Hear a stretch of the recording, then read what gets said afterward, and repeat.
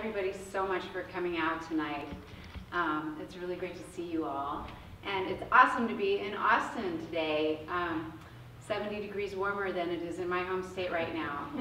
so, um, I just tell you a little bit about myself. I grew up in Indiana, in Indianapolis, and so I placed my, my baby there because it seemed like the best place for for me to start for writing. And um, but I live in Madison right now um, with my husband and two dogs. My children are grown, and um, which gives me lots and lots of time for writing. So it's wonderful. Um, uh, um, I want to let you know too that since they don't have the book, um, I have copied out the first chapter for everyone, and I'm happy to sign the first chapter for anybody who wants it.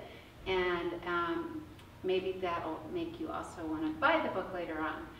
So it, come see me afterwards and, um, and I'll have that for you. I'm not going to read the first chapter though.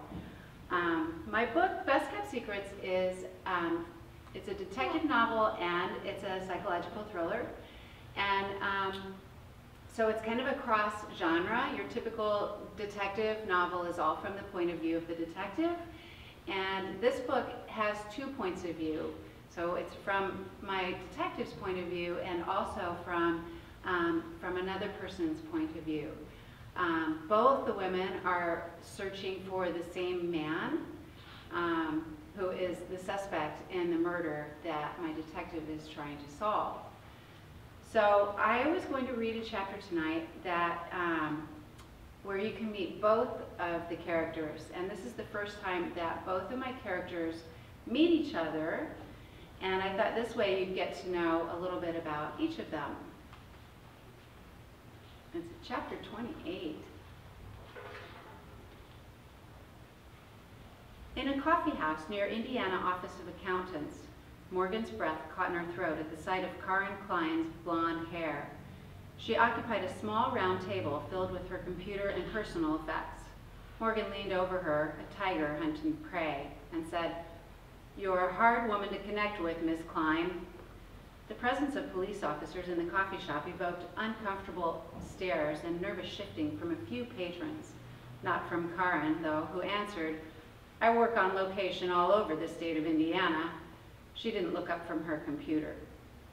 We're aware of that, Morgan's fingers grazed the tattered notebook in her jacket pocket. This is my partner, Detective James. Behind her, Donnie flashed his badge. Karin's hand remained poised over her keyboard, her eyes on her computer screen. We want to ask you a few questions, Morgan stated.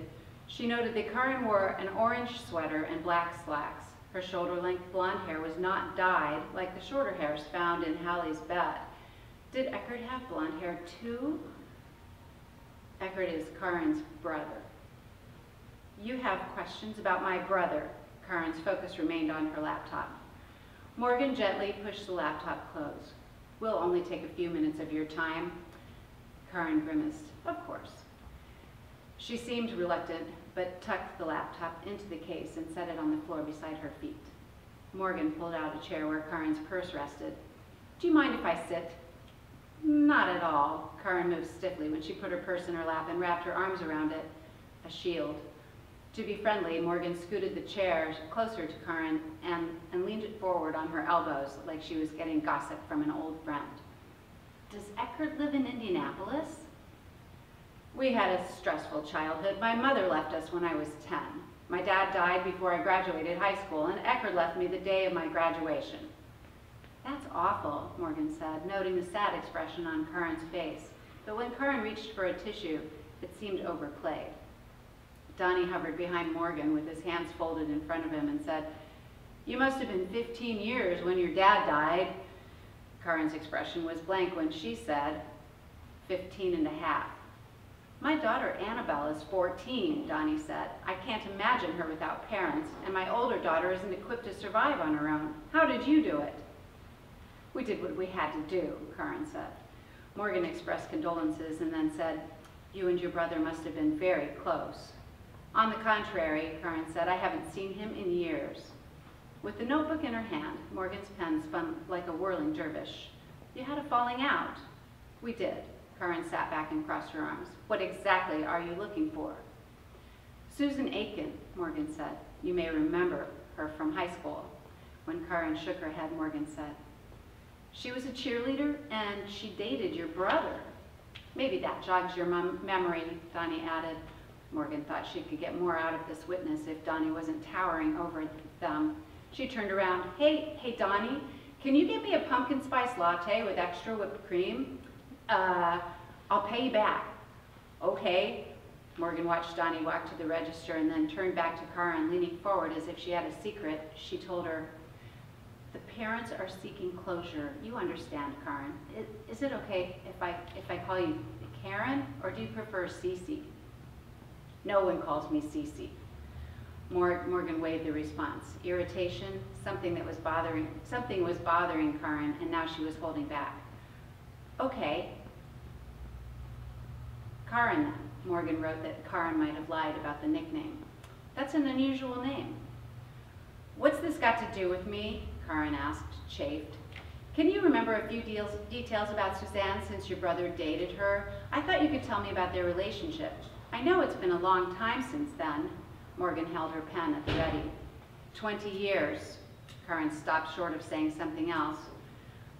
Morgan's, Morgan's brow furrowed. Is that how long since she's seen him? She wrote 20 years in her notebook and then made a note to find out. Or something like that, Karin said. Something like that, Morgan drew in her breath. Later, she looked up the dates. Later, she would look up the dates to see if they matched. Donnie returned to the table. Did you want regular or soy milk? Donnie averted, Morgan averted her gaze from Karin and looked up at Donnie. Regular, when have I ever put soy milk in my coffee? Angie's doing the soy thing. I forgot, he replied. Medium okay? I know better than to get you a large. Morgan, Morgan chuckled as Donnie returned to the counter. This won't take long, I promise, she said to Karin. Let me ask you a few more questions. Sure, Karin shook her head. No, in contradiction to her answer. Look, do you remember any details about Suzanne, particularly about their relationship? Was Suzanne cruel to your brother? Did they hike in the woods? What more can you tell me about them? I don't remember. As Morgan observed Karin, she recognized evasive behavior. Her back was rigid with, and neck muscles tight. Morgan didn't want to scare her away. She planned on having solid evidence before arresting anyone because this was the most important case of her life. She played her cards strategically. Do you keep track of local news, Karin? I'm more of a big picture person. Morgan noted the shifting back and forth of Karin's green eyes, the telltale sign of a lie. Then you didn't see that we found her body up near Fishers. Karin raised her eyebrows and shook her head. She thought it unlikely, but perhaps by explaining the horrific details of Suzanne's discovery, the decaying, rotting corpse, she wanted to shock Karin into telling the truth. She may have been buried alive. Someone crushed her face in with a hammer and then buried her in the woods. I can't imagine what a teenage girl could have done to deserve that. People disappear all the time. Like your brother? Karin raised her eyebrows in agreement. Your brother Eckert dated Suzanne for what, almost a whole school year? No, I'd remember that. Eckert didn't date anyone. You don't say. Morgan wrote that down too. It was a flat out lie if she could believe other witnesses. Morgan looked into the small silver ring, looked at the small silver ring that Jeremy had given her and noticed that Karin too wore a sparkling diamond ring on her pinky. It looked like an engagement ring, Hallie's ring. The one that the one that the blue room bartender had seen had never been found. That's a beautiful ring. Karin spread her fingers and looked at her left hand. She took a quick breath, breath and said, thank you. It looks very special. It was a gift. Oh? Morgan was sure there was a story. If someone had given her a ring like that, she'd be sure to tell everyone. From who? My boyfriend gave it to me a few months ago. Can we get to the point? I need to get back to work. Karin looked at her watch. We know what the murder weapon was, Morgan reiterated. We know what killed Suzanne. The response was a glare. Where is your brother, Karin? In her seat, Karin shifted, not uncomfortable, but clearly agitated. I told you I haven't seen him. We're estranged. With, with each question about Eckert, Karin sat a little taller. So Morgan wondered if she was nervous or hiding something. She hoped that this next question would push her over the edge. She switched gears. You don't know a woman named Hallie Marks, do you? Did she go to Northside too? No. It irked Morgan that Karin remained so calm. Hallie used to hang out at the Blue Room. That bar's been around since, eight, since 1986. You've been there, Morgan asked hopefully. I do like jazz. I go there once in a while. Does your brother go there? How would I know? Karin had become impatient. Where is this leading detective? Morgan dug a photo of Hallie out of her jacket pocket and then slid it on the table in front of Karin. Do you remember this woman? She watched Karin's reaction closely, but Karin gave her nothing. No. Karin downed the last sip of her coffee. I have to get back to work. My lunch hour is over and I haven't gotten a thing done. Detective Jules stood up. One more thing, Karin. When was the last time you saw your brother Eckert? 18 years, 5 months, and 23 days ago. Karin packed up her computer. That long?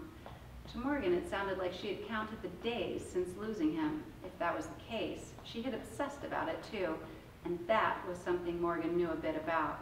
Obsession could take over a person's life. Thanks for meeting with us, Karin, she said. When Donnie returned with two steaming cups, Karin dismissed herself. Morgan felt confident that Karin had more information than she was letting on. She waited for her to leave, keeping an eye on her empty paper coffee cup. Once she'd left, causing a flurry of jingling doorbells, Morgan dug the cup out of the trash to submit for DNA tests.